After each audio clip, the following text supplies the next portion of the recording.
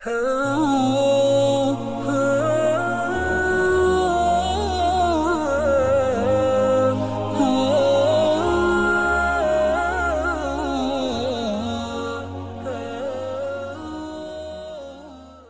है हम बचपन में जब बिनोरी टाउन जाया करते थे, ऐसा लगता था एक नूर बरस रहा है आसमान हम तो यूनिवर्सिटी कॉलेज कॉलेज के माहौल में रहने वाले। अरे हम स्कूल से निकलते थे घर से निकलते थे, बैग लटका के स्कूल जाते थे। एक नंबर के शरारती, अल्लाह माफ़ फरमाए। स्कूल पहुँचते पहुँचते अड़ंगियाँ देना एक दूसरे को। स्कूल भी हमारा करीब नहीं था। अब तो बच्चे घर से निकले, वैन में बैठे, माएँ लिपाई पुताई करके उनको डिस्टेम्पर से वो हर तरह से तैयार करके धक्का दिया गाड़ी में। वहाँ स्कूल में उतरे, वहाँ उनको टीचर ने रिसीव किया। बड़ी तमीज़ के साथ आइए, बैठिए, तशरीफ़ रखिए। बड़ी इज़्ज़त उनकी।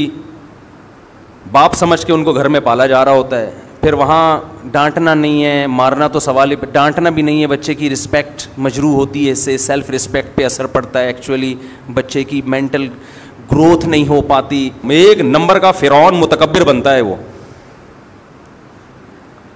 कभी कभार चलते फिरते वैसे ही हल्का फुल्का बच्चे को एक आध चमाट, ज़्यादा नहीं, ज़ोर से नहीं। कभी कभार ज़्यादा करोगे तो बदखलाकी है ये। वो पूछे, क्यों मारा? कह रहे, ये बताने के लिए कि मैं बाप हूँ। ऐसा ना हो थोड़े दिनों में वो अपने आप को बाप समझने लगता है, ये हो रहा है। कल मैं जी टीवी पे इंटरव्यू दे रहा था तो किसी लिबरल ने ये कहा कि आजकल माँ बाप बच्चों के हकूक़ अदा नहीं, खिला नहीं रहे उनको, उन पर खर्च नहीं कर रहे। ये पता नहीं कौन सी दुनिया में रहते हैं। लाखों में एक वालदेन ऐसे होते हैं जो बच्चों पे खर्च नहीं करते। 99 परसेंट वालदेन बच्चों पे उनकी ज़रूरत से ज़्यादा खर्च कर रहे हो, सब कुछ लुटा के खिला रहे होते हैं। ये पता नहीं कौन सी दुनिया में ये लिबरल लोग रहते हैं, फेंकने के लिए बैठे हुए टीवी में। फेंकते रहो बस बैठ के। अपने मुआशरे को बस नेगेटिव करके दिखाओ कि हम गंदे हैं। और भाई हमारे यहाँ औलाद पे बाप इतना खर्च करता है कि आपकी गोरा तो एक कमबख्त एक धेला खर्च नहीं करता अपने औलाद पे। वो बच्चों के बड़े हुकूक है वहाँ पे। और हमारे यहाँ बाप आधा हो जाता है, बाल गिर जाते हैं उसके सर सर के। बच्चों के स्कूल की फीसें, बच्चों को जो कहेगा कम बहुत वो खिलाएगा उसको। जैम से खानी है डबल रोटी। जैम भी रखा होगा फ्रिज में। अंडा खाना है, अंडा भी पड़ा होगा। आज का बच्चा, बाप में ये मजाल नहीं है कि बच्चे को अंडा खाना है और बाप कह, नहीं तो जैम से रोटी खाएगा। वो पुराना जमाना था वंस अपॉन अ टाइम के जो पकाए, खा। तेरी मर्ज़ी का नहीं। हम, हमारा अल्लाह का शुक्र है, माली हालात बहुत अच्छे थे, लेकिन हमारी माँ ने हमें अपनी मर्ज़ी का खिलाया है, हमारी मर्ज़ी का नहीं। मुझे अपनी वालदा का वो चिमटा याद आता है। गरम चिमटा जब रोटी पकाती थी ना तो वो अब आलू की भुजिया पकी हुई है बिलफर्ज मूली की भुजिया पकी हुई है, हमें तो अच्छी नहीं लगती थी मूली की भुजिया। बनी हुई है। तो हम बैठे हुए नहीं खाया जा रहा हमसे, दिल ही नहीं चाह रहा खाने का। वो अंडे वाला बर्गर मंगवा दो। ठीक ठीक है।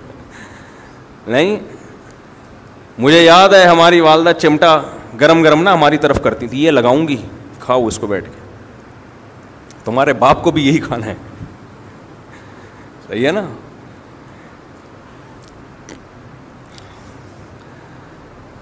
तो खैर, क्या बात चल रही थी, किधर चला गया? तो बात क्या कर रहा था मैं? वो सारा दिमाग ही कहीं और चला गया यार। वो बच्चों को बिठाते हैं स्कूल में, आप देखो ना।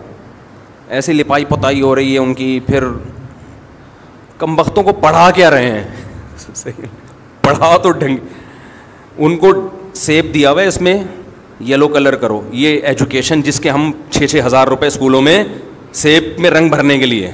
फजूल किस्म की टाइम वेस्टिंग दो चार इंग्लिश में नज़में सिखा देते हैं तो माँ बाप को चूँकि वो भी नहीं आती तो माँ बाप समझते हैं बच्चा फुल एजुकेटेड माशाल्लाह।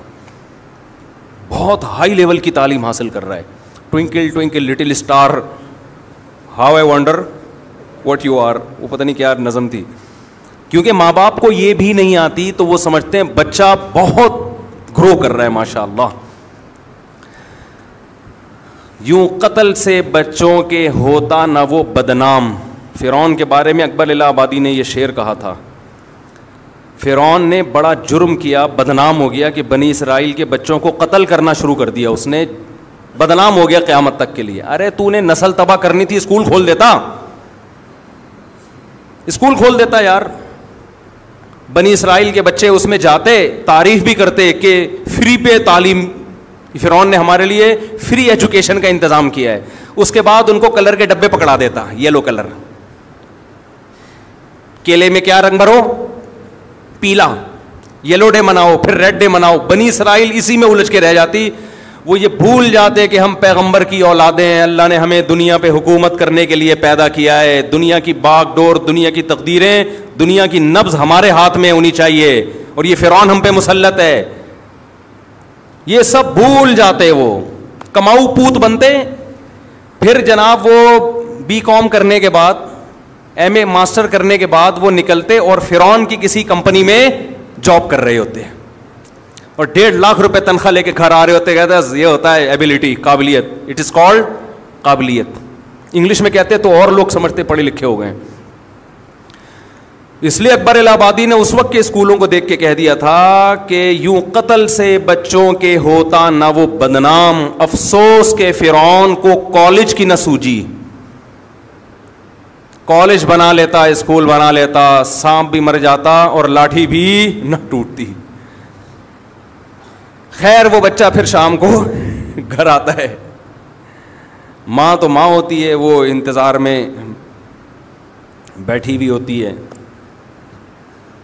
उसकी मर्ज़ी का उसको खिलाया जाएगा। खैर, वो अभी जो कुछ हो रहा है, उस पर वो फिर मौजू से हट जाएगी बात।